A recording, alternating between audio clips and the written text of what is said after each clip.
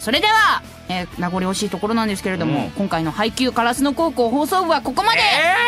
えええー、大丈夫です。次回もあるよ。ー、はい。あちょちょっと。ちょっと今マジでズコってなったちょっ楽しいなとド S だよ本当に。クソ。はい。はいお相手は村瀬歩と。